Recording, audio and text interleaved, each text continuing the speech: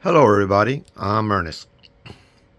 So here I'm going to share a watch I have that I've had over a year. And this is the watch that started me into watch collecting or buying watches. The Invicta Bolt Zeus. This is the first watch I purchased. And let me tell you the story behind it. I back in July of 2022, I was on a cruise ship and I got uh and I made videos of that if you're interested in that and I, and I believe in one of the videos I showed that I bought this watch there. And if you've ever been on a cruise ship, they have jewelry stores there and um, they were running an Invicta watch sale 75% off, supposedly. I think I paid 190 or 290. I don't I can't remember. Which by the way is too much. I found out once I got back on shore and I looked them up on Amazon. So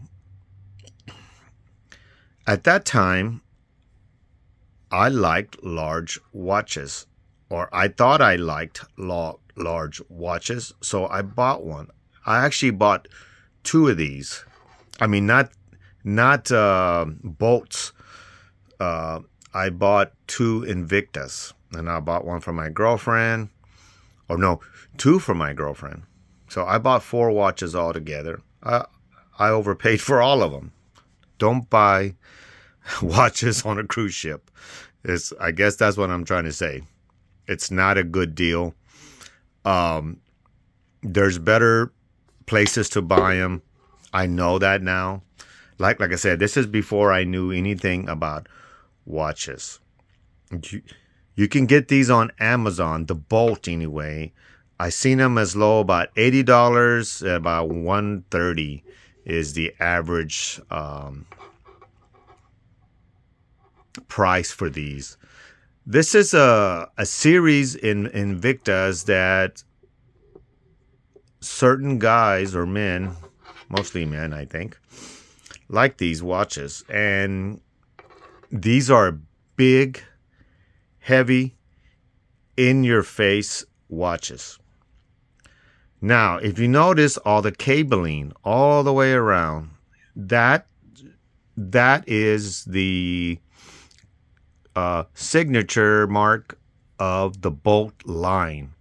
And all the bolts have this cabling done to it, and I liked it. This is the only watch I have of this particular size and type. Like I said, it was my first watch. And I don't know if I personally would buy something of this size anymore just because I've kind of my taste has changed and I've gotten a, a little bit smaller, lighter, but I still like this watch. I wore it to work the other day. I wore it out. Uh, I have gotten comments on it. Uh, positive so far. Well, one of the girls at work, she goes, "Oh my god, that thing is huge." she didn't really care for it. So I think this is a guy thing. It's not so much a and and then another girl at work, she said, "Oh, I like that watch. That her dad has had one, and he was on a motorcycle accident, and nothing happened to it." He said, "Absolutely nothing happened to that watch. They're bulletproof." Which is if if you feel it, uh, I don't know how much it weighs. I'm saying a pound.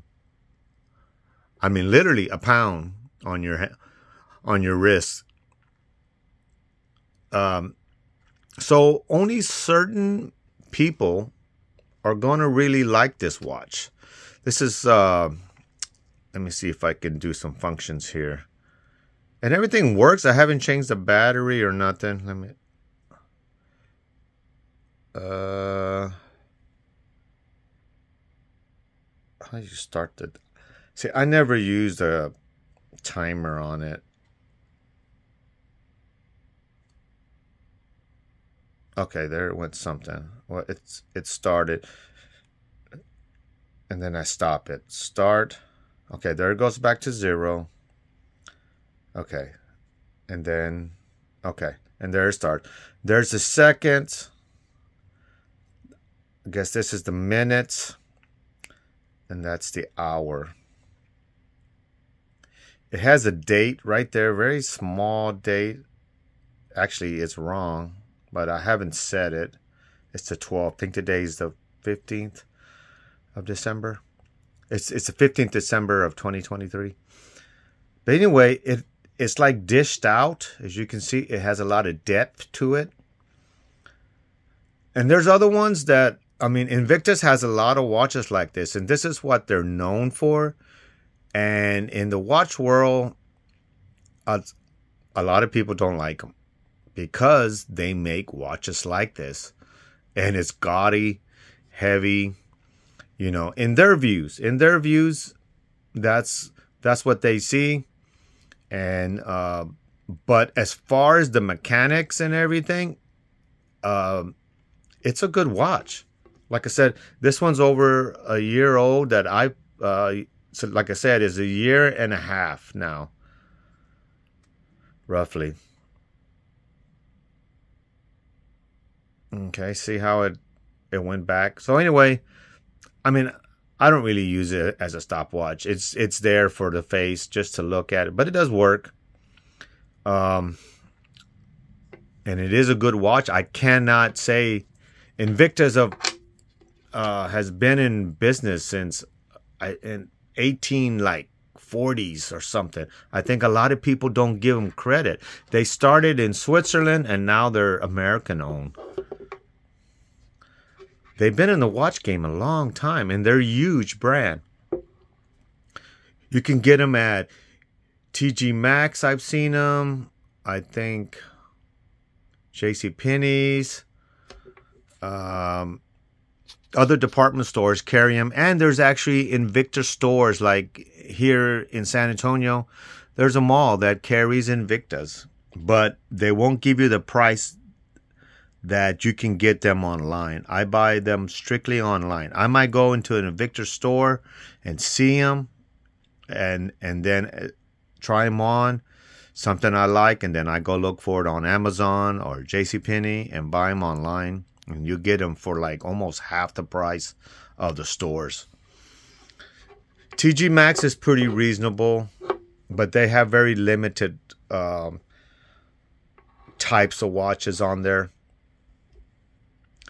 So anyway, if you're interested in this, um, go to Amazon and type in Invicta bolts or just Invicta watches, so you can see all the different brands and types that, that they carry, and see if this is something that you'd be interested in. You could probably get this one for like ninety dollars, uh, or some or something similar to it but they have all kinds of colors, patterns. They got themes, you know. You can get Disney Invictas, you can get Star Wars Invictas. They're they make a ton of theme type watches. Thanks for watching, and I'll see you next time.